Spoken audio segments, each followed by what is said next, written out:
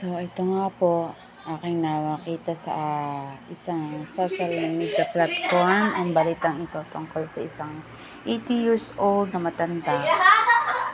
Nagna, nagnakaw umano ng wala pa 10 kilong mangga. Na kung saan yung manggang ninakaw umano niya ay according kay tatay, siya rin naman mismo yung nagtanim nun. So, nung binakuran daw naman, nang may-ari siguro ng lupa, eh, kasamang napabakuran sa loob yung kanyang itinanim na mangga. At nung namunga at siya'y kumuha, ay siya ay i, ipinapulis at inaresto sa Asingan, Pangasinan at siya ay ipinakulong. So, ang gusto mangyari ni Lolo, ang gusto mangyari ni Lolo is bayaran na lamang niya yung kanyang ninakaw na o pinitas na mangga. Subalit, hindi sila pinayagan na magbayad. Sa halip ay ipinakulong na lamang siya at pinapagbayad na lamang siya ng halagang 6,000 piyansa. So, ito nga po yung mga pictures ni Lolo.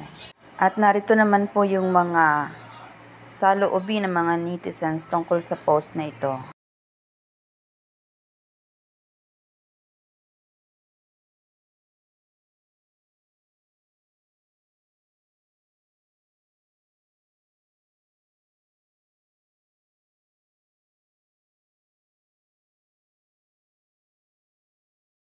Sa kabila nito, ay meron pa rin mga taong may nakukuha pa rin magbiro katulad niyan.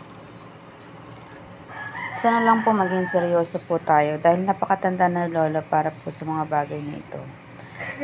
Para po sa inyong mga salobin, pwede po kayong uh, mag-comment sa baba at ipaalam ninyo kung ano ang tama o tama ba na mapakulong si Lolo o kailangan po siyang ma-release. So, fresh na fresh pa po yung news na yan. No?